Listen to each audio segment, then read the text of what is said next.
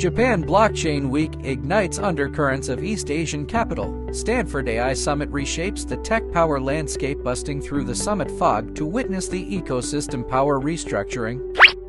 Event 1 Japan Blockchain Week sparks East Asian capital siphoning. Solana Ecosystems Tokyo Showdown begins. Regulatory easing triggers trillion yen liquidity migration. Policy dividend explosion. Japan's Financial Services Agency lifts bans on token incentives and DAO frameworks, allowing listed companies to issue utility tokens, instantly injecting traditional corporate market value into on chain liquidity.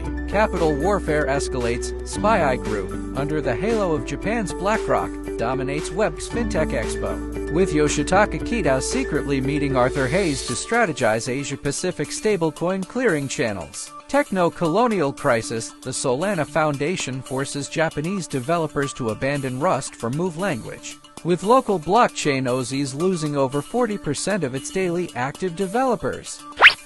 Event 2 Stanford AI Summit reshapes the tech power chain. DeFi AI Fusion Protocols launch a surprise attack on Wall Street. A 16Z secretly funds ASI Alliance. Academic Scythe Unleashed, the Stanford Blockchain Summit releases the DeFi Agent White Paper, enabling AI agents to autonomously execute leveraged arbitrage, crushing retail investors' response times to milliseconds. Compliant dark pool formed, the SEC tacitly approves Starkware's SKA circuits as a new audit standard, rendering XBit style contracts obsolete. Compute colonialism begins. The A16Z backed ASI Alliance demands projects stake 10% of tokens in exchange for AI compute, increasing development costs for small teams by 500%. Truth One, the VC harvesting matrix beneath the summit's prosperity, while Solana's Tokyo conference revels, market makers have already locked in retail profits with options dark pools. Liquidity illusion, Solana's superchain boasts 1.1 million daily transactions.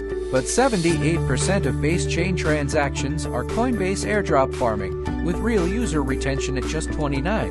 Tokenomics Trap, among the 23 new projects launched at Web Summit, the average FDV fully diluted valuation is 8x the circulating market cap with VC unlock countdowns triggering death spirals. Regulatory arbitrage black box, Japan's DAO Special Act exempts VCs from on chain taxes, while retail investors face a 37% withholding tax on cross border transactions. Truth 2 The compute colonialism behind AI plus DeFi fusion. Stanford's white paper touts democratized AI, but actually hands protocol governance to GPU oligarchs Compute hegemony restructured, the A16Z controlled ASI Alliance commands 23% of global AI compute, with DeFi agents paying a 0.8% inference tax per transaction. Data feudal system, medical blockchain project Bithiv is forced to open patient data interfaces to the ASI Alliance under the guise of training public healthcare models. Tech Lock in Trap, Starkware's new audit standard mandates Cairo language compatibility, systematically sidelining Solidity developers. Bum's sharp take, the power shift code beneath the summit frenzy, as Japan waves the banner of regulatory easing. SBI Group has already diverted trillions in capital through stablecoin channels, as Stanford preaches AI democratization. A 16Z's compute staking size hangs over developers' heads. Tech summits aren't utopias, they're on chain military parades of colonial power before the ASI Alliance's compute monopoly takes hold. Dump high FDV summit tokens and cling to zero knowledge proof private keys and on chain governance rights.